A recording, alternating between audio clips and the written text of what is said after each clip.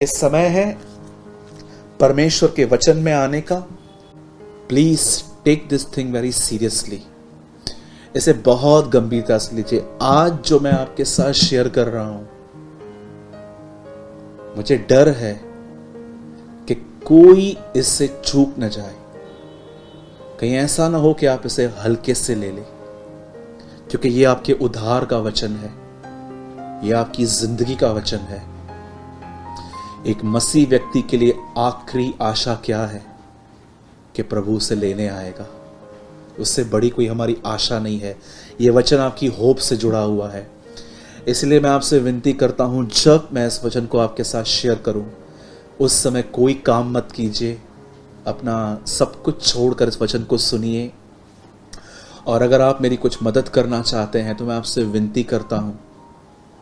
इस वीडियो को पूरे होने के बाद अगर आपको लगे कि ये वीडियो वर्थ है दूसरों के साथ शेयर करने के तो प्लीज़ आप इसे ज़रूर कीजिएगा व्हाट्सएप पे फेसबुक पे, या कहीं और भी आप इसकी लिंक शेयर करना चाहें तो प्लीज़ आप कीजिएगा। क्योंकि मैं जानता हूँ यह वचन बहुतों के लिए एक नई ज़िंदगी ला सकता है, क्योंकि ये खुदा का कलाम है। इससे पहले कि हम वचन को शुरू करें, मैं चाहता हूँ हम अपनी बाइबल को खोलें। और वचन को ओपन करके रखें, उसके बाद हम दुआ करेंगे, फिर हम स्टार्ट करेंगे। प्लीज़ ओपन विथ मी प्रकाशित वाक्य और उसका उन्नीसवा अध्याय हिंदी में। इंग्लिश में the book of Revelation chapter 19 और उर्दू में मुकाशफा की किताब और उसका उन्नीसवा बाब।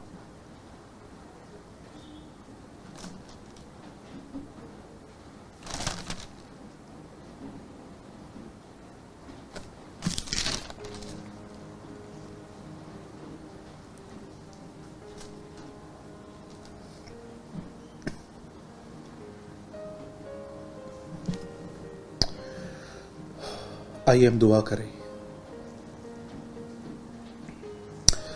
पिता, मैं दुआ करता हूँ यीशु मसीह के नाम में।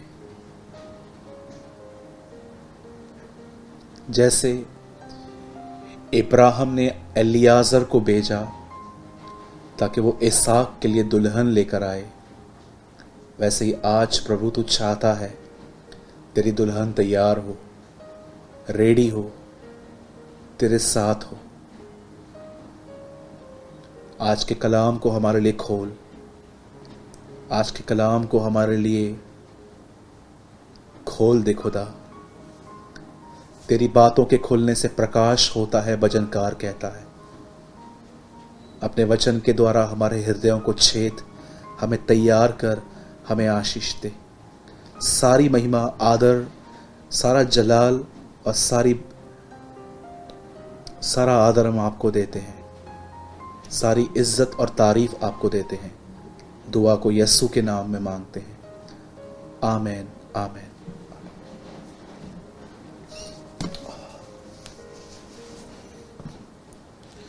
मैं चाहता हूँ आप में से हर व्यक्ति मेरे साथ खोले द बुक ऑफ़ रेवलेशन, प्रकाशित वाक्य, मुकाशवा की किताब और उसका उन्नीसवा बाब। और एक वर्ड मैं आपके लिए पढ़ रहा हूँ। आपके स्क्रीन पर ये आ रहा है। आओ, हम आनंदित और मगन हों और उसकी स्तुति करें, क्योंकि मेमने का विवाह आ पहुँचा है और उसकी दुल्हन ने अपने आप को तैयार कर लिया है।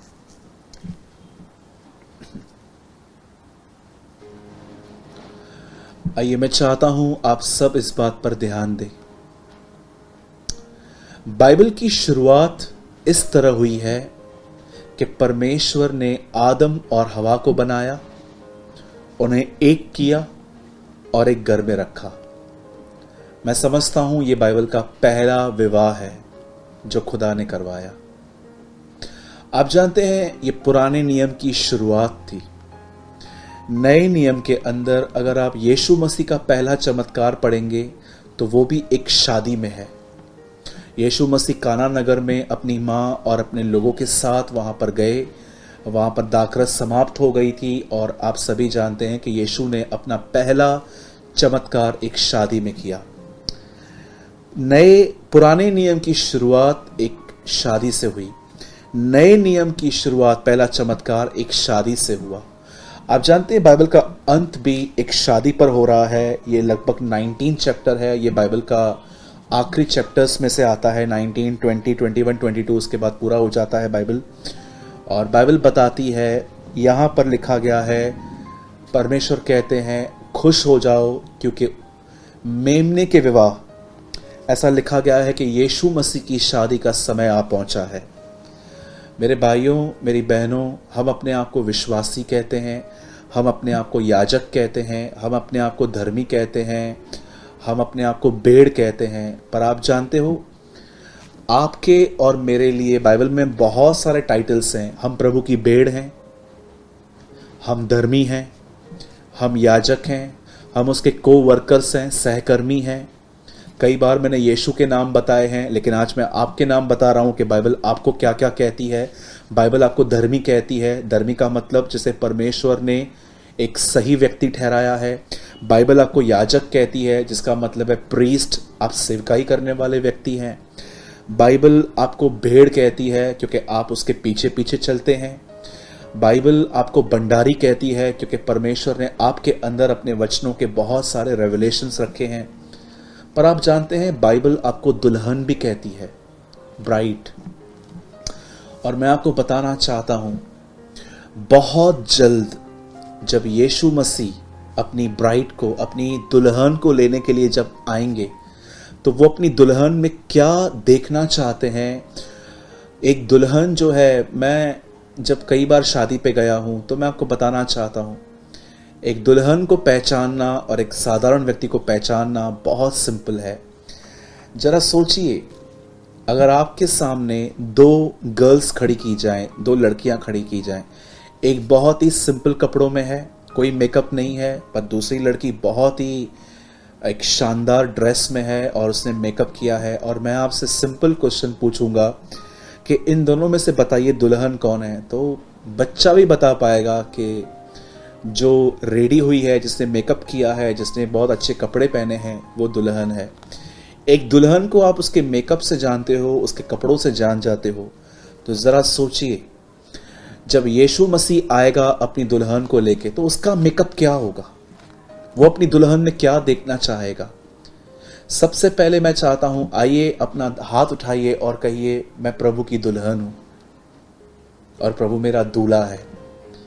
जब यीशु मसीह यरूशलेम में आए थे तो वो एक गधे पर बैठ के आए थे। एक सेवक की साइन है ये। उन दिनों में लोग गधे पे बैठ के जाते थे। लेकिन अब यीशु मसीह आप पढ़ सकते हैं, आराम से पढ़ेगा अब वो गधे पे नहीं आएगा, अब वो घोड़े पर आएगा, क्योंकि वो एक दूल्हा एक दूल्हे की तरह आएगा। मैं आज आपको समझाना चाहता हूँ कि कि मसीह की दुल्हन का मेकअप क्या है। मैं ये वर्ड इसलिए यूज़ कर रहा हूँ ताकि आप वर्ड को बहुत अच्छे से समझ पाएँ कि एक मसीह की दुल्हन का श्रृंगार क्या है। मैं चाहता हूँ आप मेरे साथ एक वचन खोलिए।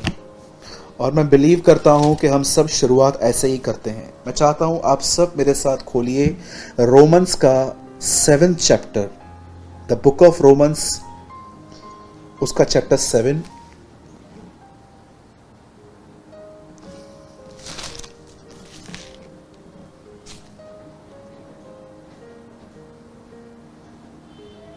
वर्स 18 आपकी स्क्रीन पर है। क्योंकि मैं जानता हूँ कि मुझमें, अर्थात मेरे शरीर में, कोई अच्छी वस्तु वास नहीं करती। अब यहाँ पर देखिए, ये भी एक दुल्हन है, जिसका नाम पॉलुस है। आप भी दुल्हन हो, मैं भी प्रभु की दुल्हन हूँ। प्रभु हमारा दूल्हा है, और कितनी बड़ी बात है, आपकी शादी हेवन में है, आपकी शादी स्वर्ग में है।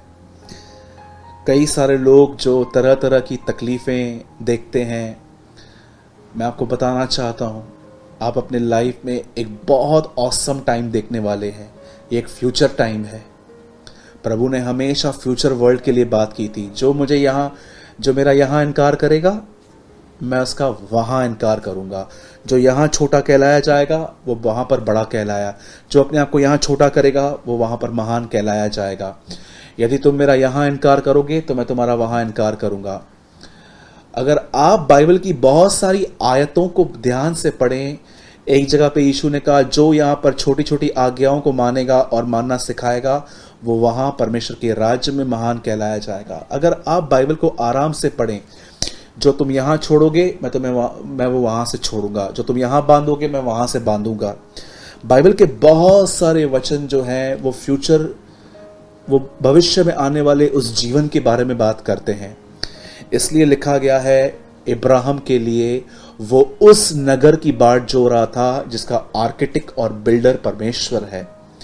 आप जानते हैं, इब्राहिम हमेशा तंबुओं में रहता था, क्योंकि वो इंतज़ार कर रहा था कि एक दिन मैं उस नगर में पहुंचूँगा, जो नगर बनाने वाला ही खुदावंत है। अब जरा देखिए, पॉलुस भी एक दुल्हन है, और वो देखो क्या कह रहा है। वो कहता है, कोई अच्छी वस्तु मुझमें वास नहीं करती।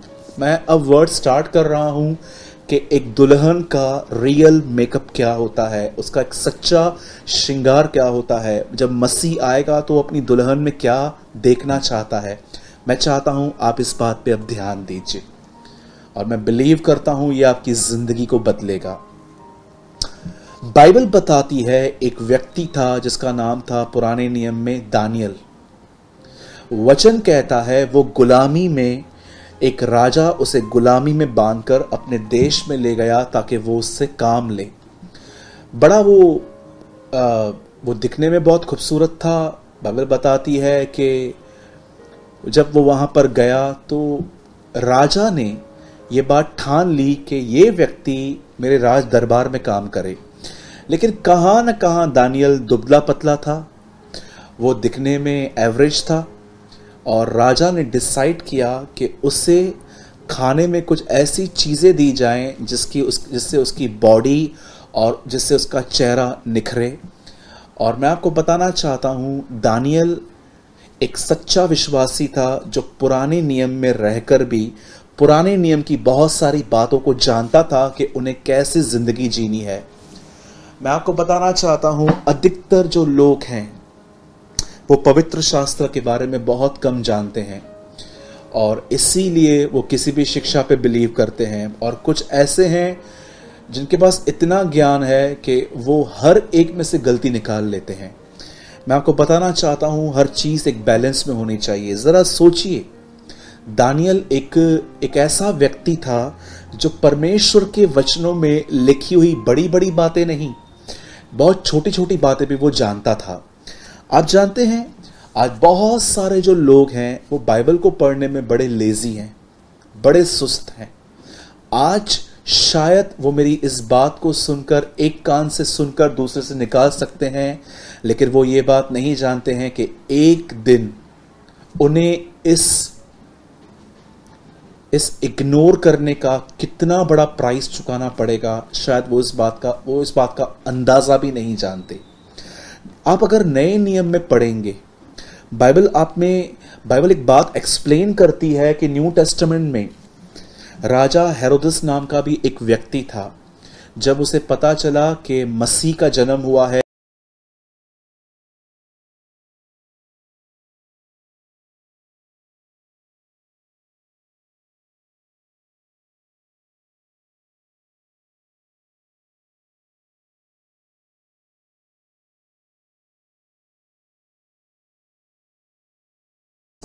आइए, ये समय है परमेश्वर के वचन में आने का, परमेश्वर के वचन को आपके साथ शेयर करने का, और इससे पहले कि मैं आज के वचन में आऊँ, मैं आपके साथ एक अनाउंसमेंट करना चाहता हूँ। मैं आपको एक सूचना, एक जानकारी देना चाहता हूँ। मेरे भाइयों, मेरी बहनों please take this thing very seriously इसे बहुत गंभीरता से लीजिए। आज जो मैं आपके साथ शेयर कर रहा हूँ, मुझे डर है कि कोई इससे चूक न जाए। कहीं ऐसा ना हो कि आप इसे हल्के से ले लें, क्योंकि ये आपके उद्धार का वचन है यह आपकी ज़िंदगी का वचन है। एक मसीह व्यक्ति के लिए आखिरी आशा क्या है कि प्रभु से लेने आएगा? उससे बड़ी कोई हमारी आशा नहीं है। ये वचन आपकी होप से जुड़ा हुआ है। इसलिए मैं आपसे विनती करता हूँ, जब मैं इस वचन को आपके साथ शेयर करूँ, उस समय कोई काम मत कीजिए। अपना सब कुछ छोड़कर इस वचन को सुनिए। और अगर आप मेरी कुछ मदद करना चाहते हैं तो मैं आपसे विनती करता हूँ, इस वीडियो को पूरे होने के बाद, अगर आपको लगे कि ये वीडियो वर्थ है दूसरों के साथ शेयर करने के तो प्लीज़ आप इसे ज़रूर कीजिएगा व्हाट्सएप पे फेसबुक पे, या कहीं और भी आप इसकी लिंक शेयर करना चाहें तो प्लीज़ आप कीजिएगा, क्योंकि मैं जानता हूँ यह वचन बहुतों के लिए एक नई ज़िंदगी ला सकता है, क्योंकि ये खुदा का कलाम है। इससे पहले कि हम वचन को शुरू करें, मैं चाहता हूँ हम अपनी बाइबल को खोलें और वचन को ओपन करके रखें, उसके बाद हम दुआ करेंगे, फिर हम स्टार्ट करेंगे। प्लीज़ ओपन विथ मी प्रकाशित वाक्य और उसका उन्नीसवा अध्याय हिंदी में, इंग्लिश में the book of Revelation chapter 19 और उर्दू में मुकाशफा की किताब और उसका उन्नीसवा बाब।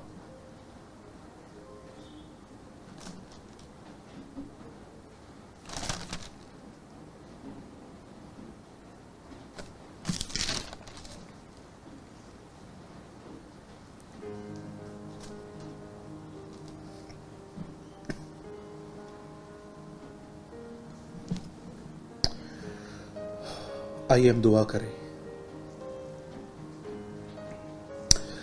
पिता, मैं दुआ करता हूँ यीशु मसीह के नाम में।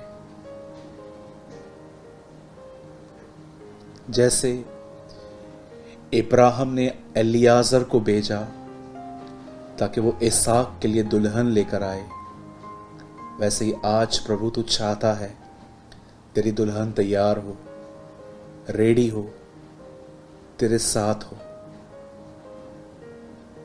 आज के कलाम को हमारे लिए खोल।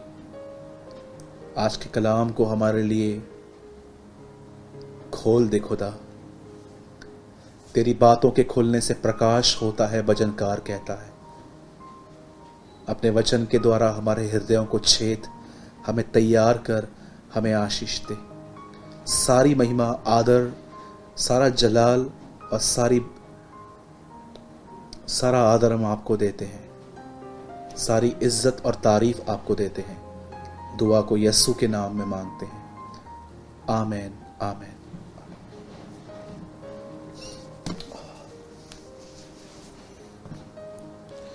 मैं चाहता हूँ आप में से हर व्यक्ति मेरे साथ खोले द बुक ऑफ़ रेवलेशन, प्रकाशित वाक्य मुकाशवा की किताब और उसका उन्नीसवा बाब। और एक वर्ड मैं आपके लिए पढ़ रहा हूँ। आपकी स्क्रीन पर ये आ रहा है। आओ, हम आनंदित और मगन हों और उसकी स्तुति करें, क्योंकि मेमने का विवाह आ पहुँचा है और उसकी दुल्हन ने अपने आप को तैयार कर लिया है।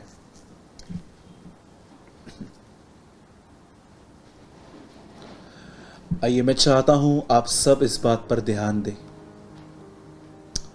बाइबल की शुरुआत इस तरह हुई है कि परमेश्वर ने आदम और हवा को बनाया, उन्हें एक किया और एक घर में रखा। मैं समझता हूँ यह बाइबल का पहला विवाह है जो खुदा ने करवाया।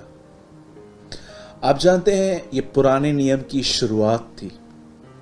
नए नियम के अंदर अगर आप यीशु मसीह का पहला चमत्कार पढ़ेंगे तो वो भी एक शादी में है। यीशु मसीह काना नगर में अपनी माँ और अपने लोगों के साथ वहाँ पर गए। वहाँ पर दाखरस समाप्त हो गई थी और आप सभी जानते हैं कि यीशु ने अपना पहला चमत्कार एक शादी में किया। नए पुराने नियम की शुरुआत एक शादी से हुई। नए नियम की शुरुआत, पहला चमत्कार एक शादी से हुआ। आप जानते हैं बाइबल का अंत भी एक शादी पर हो रहा है। ये लगभग 19 चैप्टर है। ये बाइबल का आखिरी चैप्टर्स में से आता है 19, 20, 21, 22 उसके बाद पूरा हो जाता है बाइबल और बाइबल बताती है यहाँ पर लिखा गया है परमेश्वर कहते हैं खुश हो जाओ क्योंकि मेमने के विवाह। ऐसा लिखा गया है कि यीशु मसीह की शादी का समय आ पहुँचा है।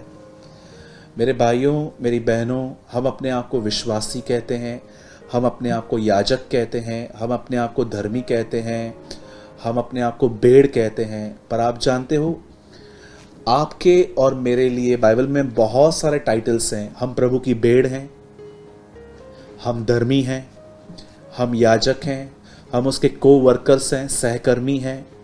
कई बार मैंने यीशु के नाम बताए हैं, लेकिन आज मैं आपके नाम बता रहा हूँ कि बाइबल आपको क्या क्या कहती है। बाइबल आपको धर्मी कहती है। धर्मी का मतलब जिसे परमेश्वर ने एक सही व्यक्ति ठहराया है। बाइबल आपको याजक कहती है, जिसका मतलब है प्रीस्ट आप सेवकाई करने वाले व्यक्ति हैं। बाइबल आपको भेड़ कहती है, क्योंकि आप उसके पीछे पीछे चलते हैं।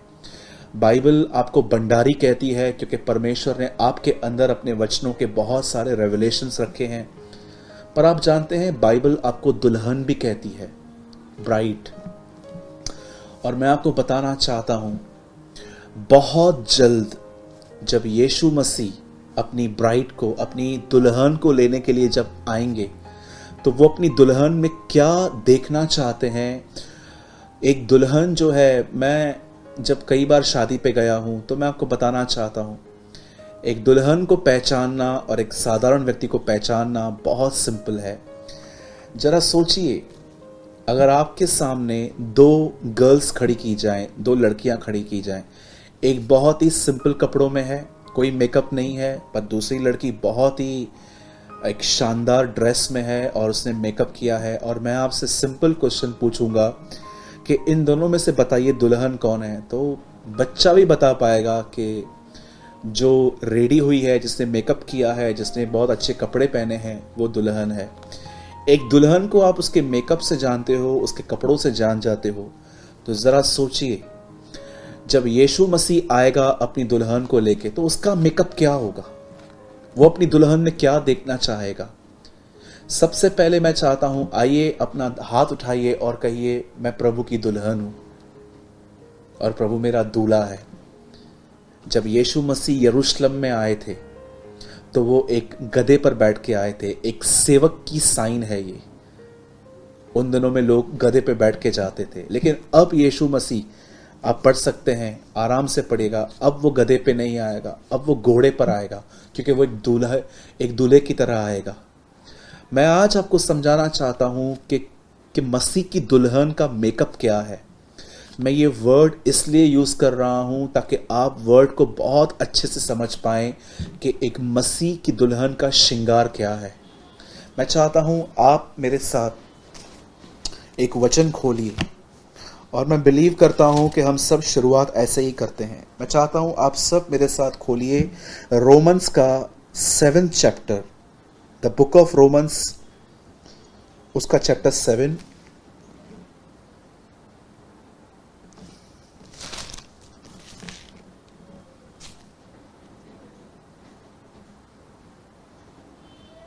वर्स 18 आपकी स्क्रीन पर है। क्योंकि मैं जानता हूँ कि मुझमें, अर्थात मेरे शरीर में, कोई अच्छी वस्तु वास नहीं करती। अब यहाँ पर देखिए यह भी एक दुल्हन है, जिसका नाम पॉलुस है।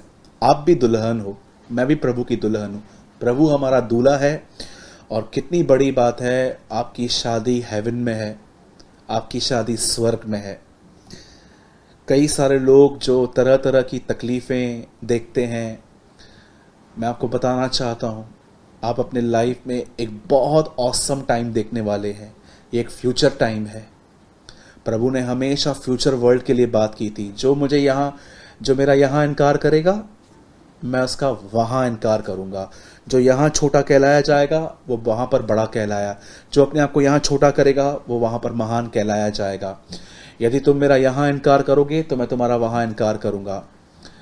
अगर आप बाइबल की बहुत सारी आयतों को ध्यान से पढ़ें, एक जगह पे यीशु ने कहा, जो यहाँ पर छोटी छोटी आज्ञाओं को मानेगा और मानना सिखाएगा, वो वहाँ परमेश्वर के राज्य में महान कहलाया जाएगा। अगर आप बाइबल को आराम से पढ़ें, जो तुम यहाँ छोड़ोगे, मैं तुम्हें मैं वो वहाँ से छोड़ूँगा। जो तुम यहाँ बांधोगे, मैं वहाँ से बांधूँगा। बाइबल के बहुत सारे वचन जो हैं, वो फ्यूचर, वो भविष्य में आने वाले उस जीवन के बारे में बात करते हैं। इसलिए लिखा गया है, इब्राहिम के लिए वो उस नगर की बाट जो रहा था, जिसका आर्किटेक्ट और बिल्डर परमेश्वर है। आप जानते हैं, इब्राहिम हमेशा तंबू में रहता था, क्योंकि वो इंतज़ार कर रहा था कि एक दिन मैं उस नगर में पहुंचूँगा, जो नगर बनाने वाला ही खुदावंत है। अब जरा देखिए, पॉलुस भी एक दुल्हन है, और वो देखो क्या कह रहा है। वो कहता है, कोई अच्छी वस्तु मुझमें वास नहीं करती। मैं अब वर्ड स्टार्ट कर रहा हूँ कि एक दुल्हन का रियल मेकअप क्या होता है, उसका एक सच्चा श्रृंगार क्या होता है, जब मसीह आएगा तो अपनी दुल्हन में क्या देखना चाहता है। मैं चाहता हूँ आप इस बात पे अब ध्यान दीजिए। और मैं बिलीव करता हूँ ये आपकी ज़िंदगी को बदलेगा। बाइबल बताती है एक व्यक्ति था जिसका नाम था पुराने नियम में दानियल वचन कहता है वो गुलामी में एक राजा उसे गुलामी में बांधकर अपने देश में ले गया ताकि वो उससे काम ले। बड़ा वो आ, वो दिखने में बहुत खूबसूरत था। बाइबल बताती है कि जब वो वहाँ पर गया तो राजा ने ये बात ठान ली कि ये व्यक्ति मेरे राज दरबार में काम करे। लेकिन कहाँ न कहाँ दानियल दुबला पतला था। वो दिखने में एवरेज था। और राजा ने डिसाइड किया कि उसे खाने में कुछ ऐसी चीज़ें दी जाएँ जिसकी उस, जिससे उसकी बॉडी और जिससे उसका चेहरा निखरे। और मैं आपको बताना चाहता हूँ दानियल एक सच्चा विश्वासी था जो पुराने नियम में रहकर भी, पुराने नियम की बहुत सारी बातों को जानता था कि उन्हें कैसे ज़िंदगी जीनी है। मैं आपको बताना चाहता हूँ, अधिकतर जो लोग हैं वो पवित्र शास्त्र के बारे में बहुत कम जानते हैं और इसीलिए वो किसी भी शिक्षा पे बिलीव करते हैं और कुछ ऐसे हैं जिनके पास इतना ज्ञान है कि वो हर एक में से गलती निकाल लेते हैं। मैं आपको बताना चाहता हूँ, हर चीज़ एक बैलेंस में होनी चाहिए। ज़रा सोचिए, दानियल एक एक ऐसा व्यक्ति था जो परमेश्वर के वचनों में लिखी हुई बड़ी बड़ी बातें नहीं, बहुत छोटी छोटी बातें भी वो जानता था। आप जानते हैं, आज बहुत सारे जो लोग हैं, वो बाइबल को पढ़ने में बड़े लेजी हैं, बड़े सुस्त हैं। आज शायद वो मेरी इस बात को सुनकर एक कान से सुनकर दूसरे से निकाल सकते हैं, लेकिन वो ये बात नहीं जानते हैं कि एक दिन उन्हें इस इस इग्नोर करने का कितना बड़ा प्राइस चुकाना पड़ेगा, शायद वो इस बात का, वो इस बात का अंदाज़ा भी नहीं जानते। आप अगर नए नियम में पढ़ेंगे, बाइबल आप में, बाइबल एक बात एक्सप्लेन करती है कि न्यू टेस्टमेंट में राजा हेरोदस नाम का भी एक व्यक्ति था।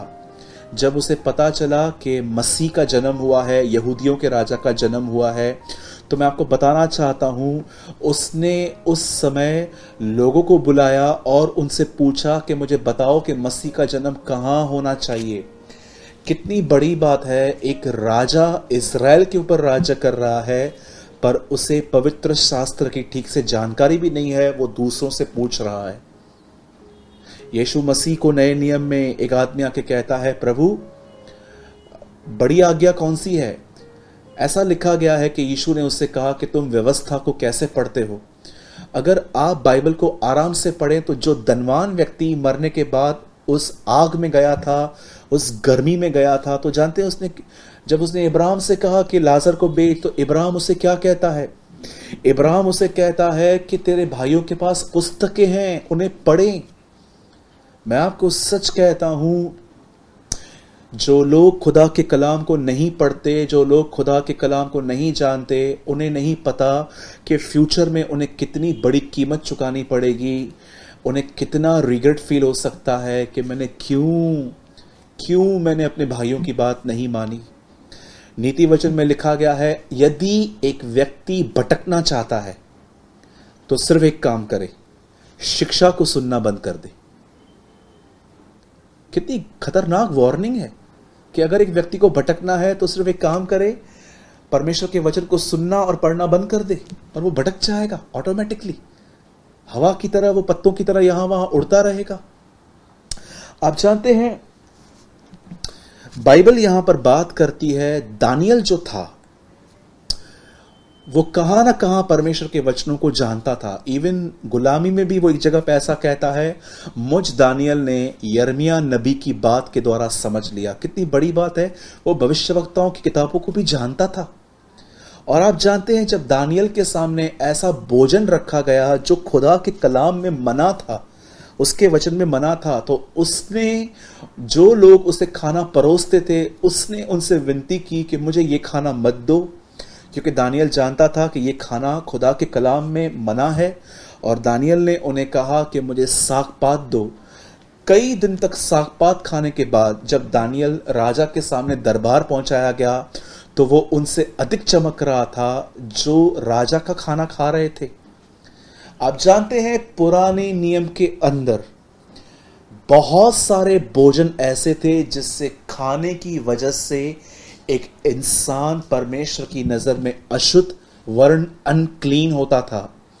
अब मैं बात नए नियम में ले जाता हूँ। बाइबल ऐसा बताती है, एक समय ऐसा आया जब यीशु मसीह ने फरीसियों से कहा तुम जो खाते हो, वो तुम्हें अशुद्ध नहीं करेगा, लेकिन जो तुम्हारे अंदर से निकलता है, किसी स्त्री को देखकर गंदे विचार, किसी के पैसों को देखकर लालच के मेरे पास भी इतना हो, गुस्सा बार बार गुस्सा आना, चुगलियाँ मारना, यहाँ की बातें वहाँ करना, आप जानते भी हैं कि आपके बातचीत करने की वजह से बहुत कुछ खराब हो रहा है, लेकिन आप बस नहीं कर रहे हो, आप चुप नहीं कर रहे हो, आप जानते हैं पुरानी नियम के अंदर इंसान जो खाता था, उससे वो अशुद्ध ठहरता था।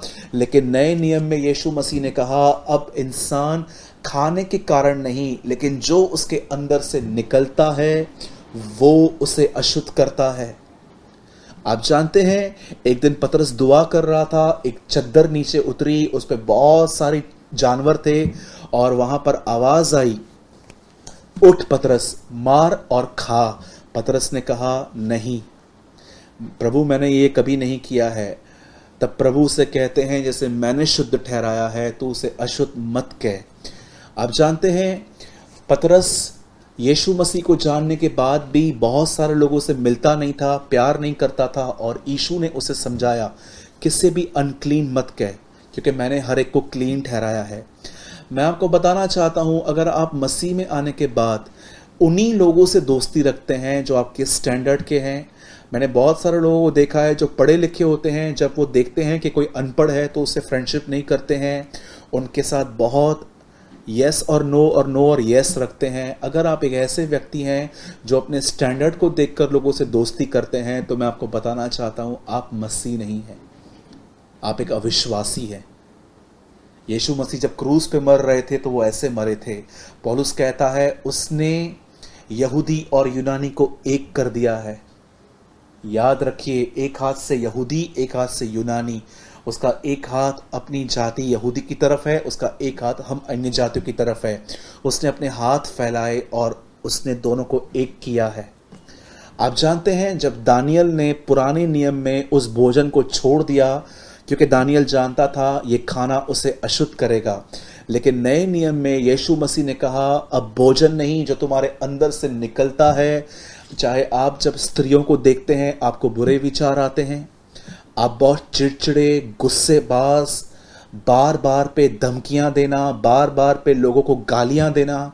आप एक ऐसे व्यक्ति हो या आप देखते हो कि आपके अंदर जलन होती है किसी की उन्नति को देखकर जब आप एक स्टूडेंट को देखते हो कि आप उसकी इतनी मार्क्स आई, लेकिन आपकी मार्क बहुत कम आई, आपको जलन होती है।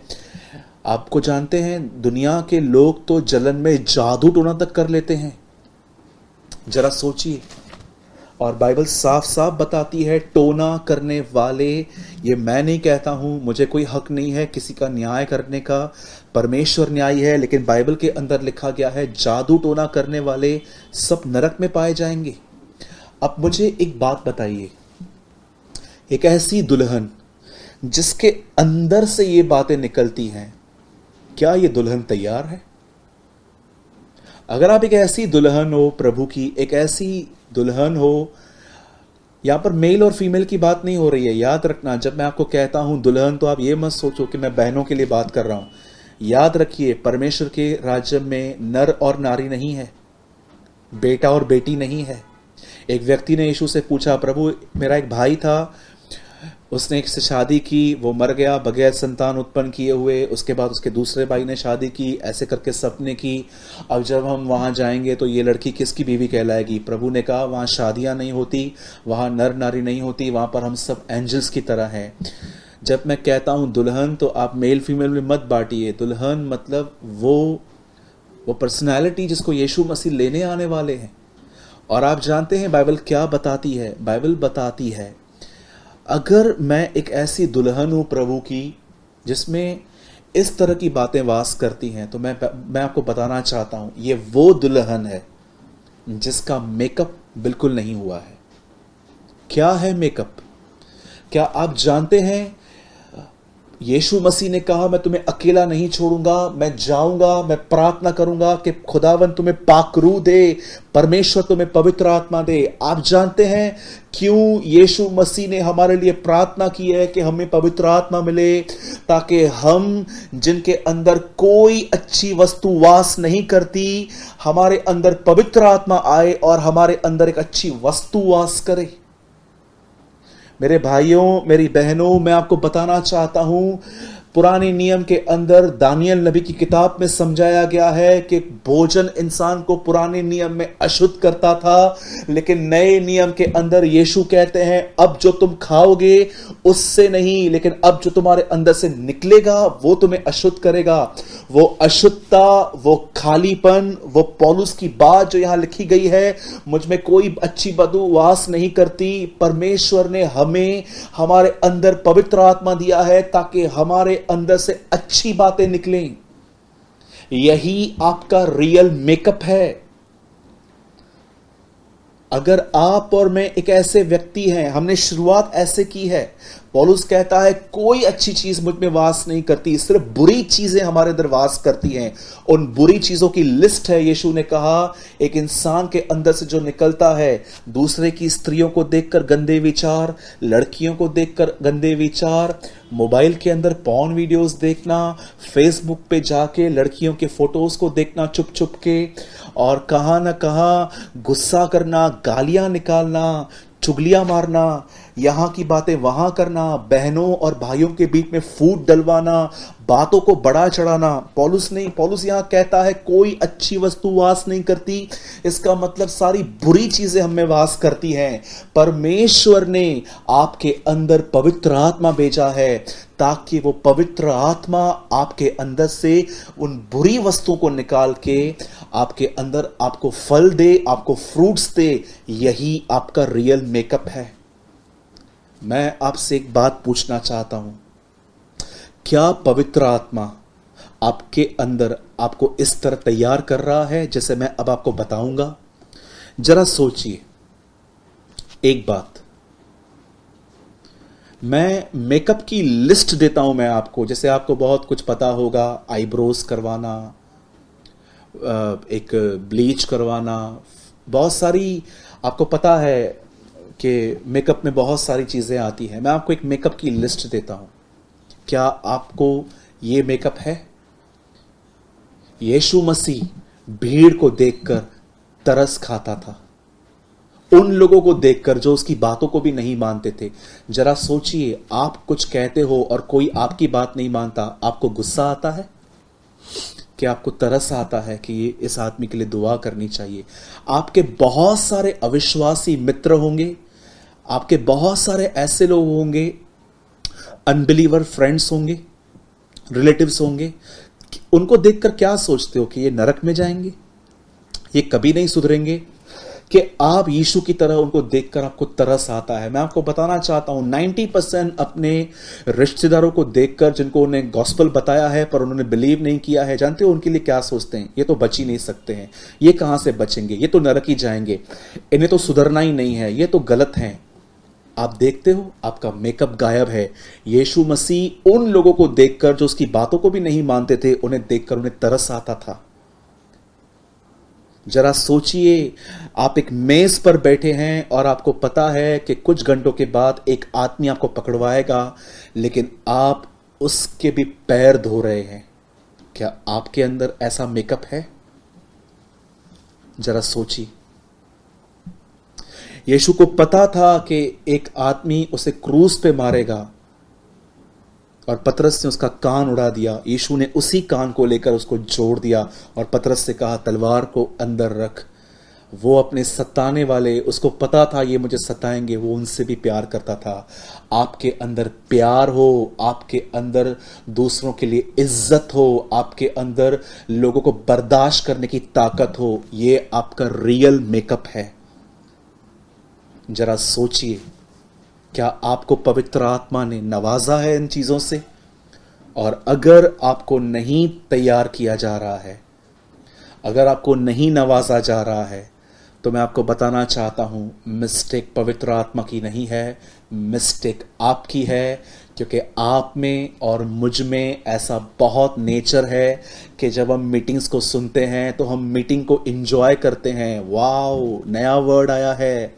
टाइटल तो पढ़ के देखो, आज कुछ नया सुनने को मिलेगा। लेकिन कुछ ही लोग होते हैं जो वचन सुनने के बाद अपने घुटनों पर आते हैं, कमरे में जाते हैं और खुदा के सामने आँसू बहाते हैं कि, खुदा, जो मैंने सुना है, वो मुझे चाहिए। जब तक तू मुझे नहीं देगा, मैं उस विधवा की तरह बार बार तेरी डेवड़ी पे आऊँगा, चिल्लाऊँगा, रोऊँगा, तुझे पुकारूँगा, क्योंकि मुझे वो चाहिए। ये वो लोग होते हैं जो मसीह की दुल्हन मेकअप के साथ बन पाते हैं। आपका रियल मेकअप आपका रियल श्रृंगार, सिर्फ़ अपने आँखों में काजल लगाना, बालों को स्ट्रेट करवाना नहीं है। आपका रियल मेकअप है, परमेश्वर के फलों में अपने आप को तैयार रखना।